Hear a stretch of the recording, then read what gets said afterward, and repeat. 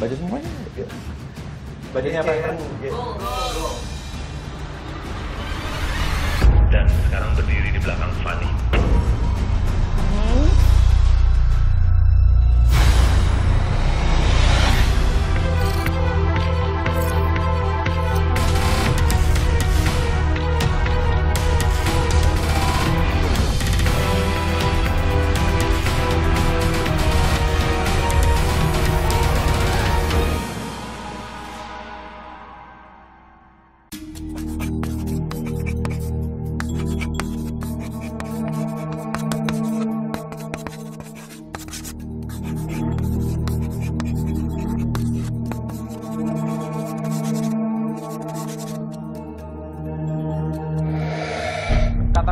Senjata utama bagi seorang penyiar. Kali ini saya akan bereksperimen bersama salah satu penyiar radio, Steny Agusta.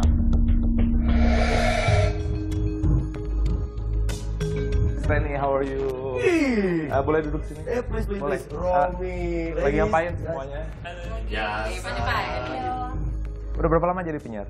Gua 14 tahun. Kalau di sini baru anak baru kita. 6 bulanan lah. Kalau pertama kali siaran di radio, Oh. pertama kali siaran di radio itu gimana rasanya? Bingung awalnya gua. Gua ngomong sama siapa ya gitu.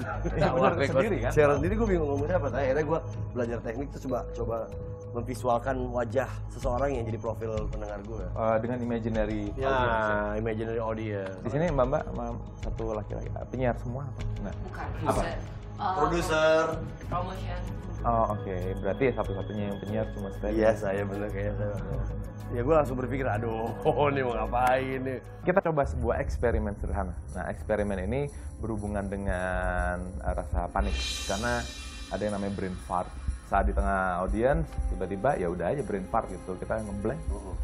Ada skrip, somehow itu jadi ngeblur.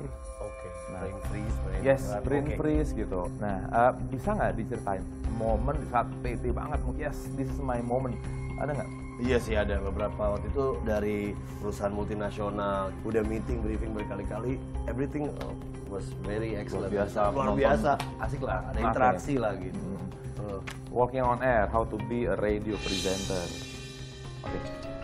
Bayangin momen itu, ya, percaya dirinya kuat, luar biasa. Bisa? Bisa, oke. Steny, i- bisa duduk sini Iya, dulu? iya, oke, oke. Bayangin momen itu ya, duduk. Oh, iya, oke. Gue duduk. Ya. Tangannya di paha. Santai, santai. Oke, bilang stop di mana aja. Ya. Stop. Di sini? ya Oke. Baca.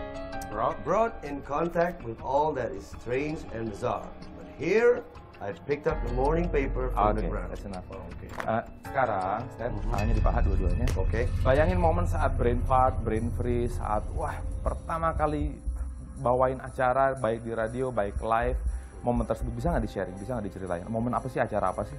acaranya gue lupa ya tapi yang pasti di sebuah uh, hotel di bawah sebuah ballroom hotel. Itu emang kekalutan pikiran tiba-tiba itu interfere dan akhirnya gue jadi lupa gitu jadi lupa fokus ada di situ. Jadi ya, terganggu lah Hmm, Oke, nah sekarang tutup sebentar, beri warna yang jelas, beri cahaya yang jelas, kembalikan saat momen Steny ada di atas panggung tersebut, mulai merasakan nggak percaya diri, merasakan panik, merasakan eh, galau, gelisah, dan lain sebagainya. Maintain perasaan itu ya, beri warna yang jelas, beri cahaya yang jelas, perkuat, eh, buka matanya ya. Eh, bilang stop di mana aja. stop Baca kalau bisa. Baca. exersi ilum facilis amet iriori pero exersi ulang corper dolore lagi.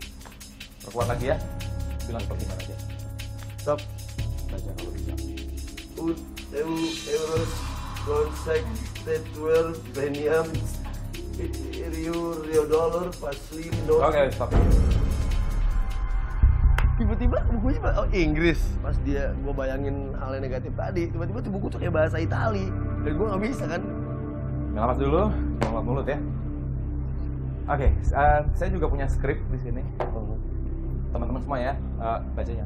Profits. Profits. ah profit I like Standing. profits Oke. I like profit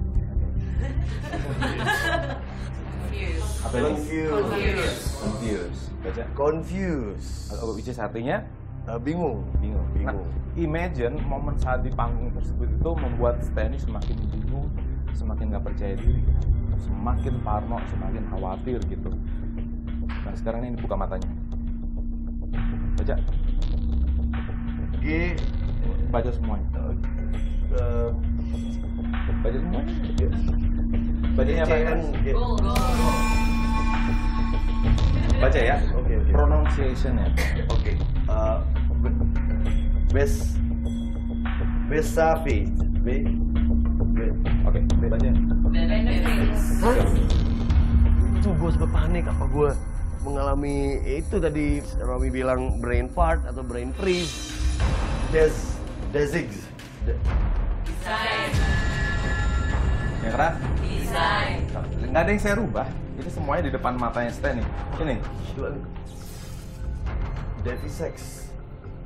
Desire. Hah? Keras. Desire.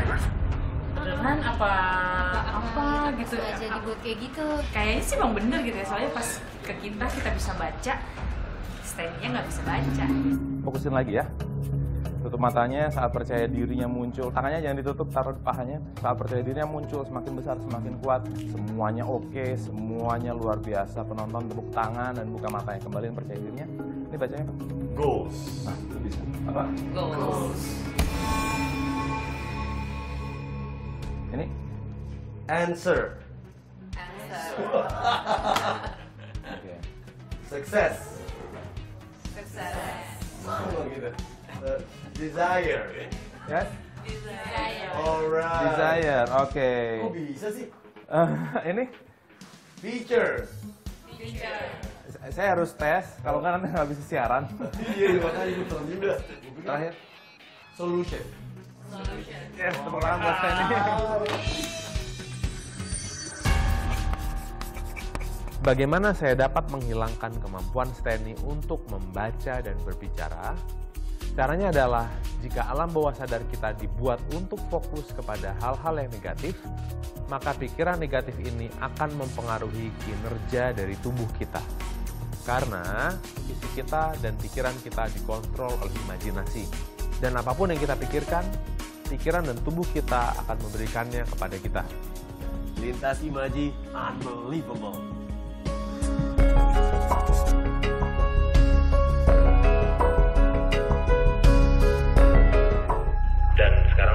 di belakang Fanny.